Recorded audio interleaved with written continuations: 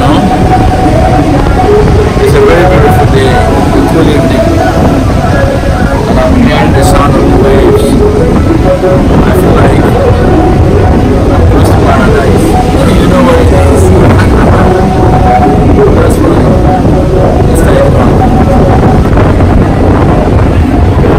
I just want to give you a little freestyle. You know what I mean? Just gonna give you a little freestyle to about this little story, this little picture. Because every picture got a story to tell. You see me Tidyman, I got a story as well. And my story is up but just like some hell.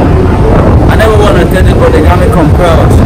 What you about to hear now is just the intro. I'm gonna break it down what we grant in the temple. Talk about me, man, it's all about info. My mama said, son, never sit by the window. Never go get some bitch while on your pillow. What I'm telling you is my true life history. I've been on hell and back, making do with this history. I wanna grow, grow, make money, blow, blow. Write my history with God in pain. You know life is so insane. The hustle had to blow, but rose down the drain. Like you never tried, Jesus wash all my pain. Jehovah stand on my name I'm me on my lane. Sorry from way back when I see the way huggies. No Pampers, no no lollipops. Solution run go around my calling for my homies. So down everything, so down everything. I'm a telling robbers, I don't feel lose anything. They won't make but Jehovah got me every time. So, so he got me pushing harder every time. I'm Banyel coming out straight from the age of 12 years.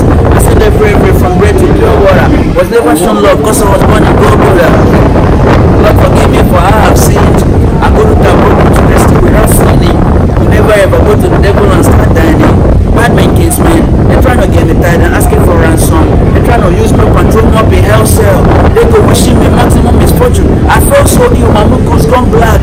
But just say me yes and white and black. So many drama in the coffin.